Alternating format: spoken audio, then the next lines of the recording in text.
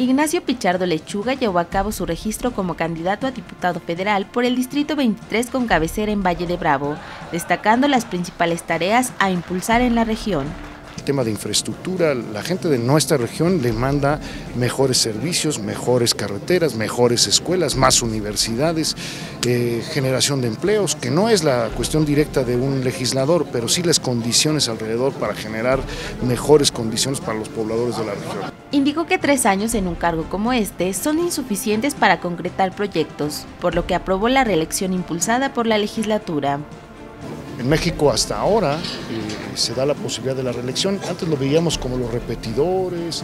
Desde mi muy particular punto de vista, tres años en un ámbito legislativo son pocos para lograr reformas de gran calado, reformas que trascienden y a veces eh, se la pasa uno corriendo en el tema legislativo. Y no se trata de cantidad, sino de calidad. Y ahí hay que escuchar a la ciudadanía organizada, a los expertos en los temas para poder hacer las propuestas de ley o reformas al marco constitucional. Recalcó el aporte medioambiental de la región Valle de Bravo, demostrando su compromiso con la ciudadanía.